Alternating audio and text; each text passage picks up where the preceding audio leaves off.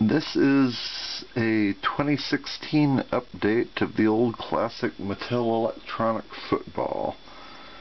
It's going up for sale and this is just a really quick demonstration video to show how it works.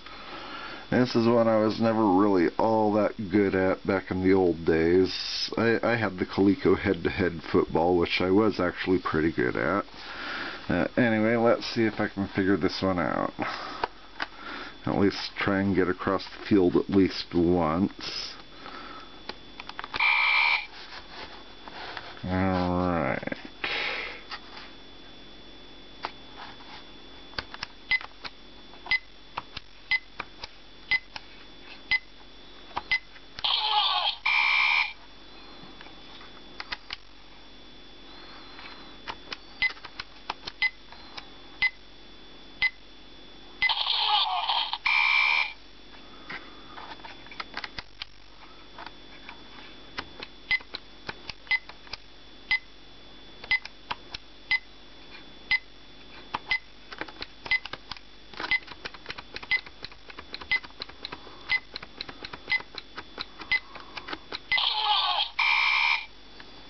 That wasn't too bad.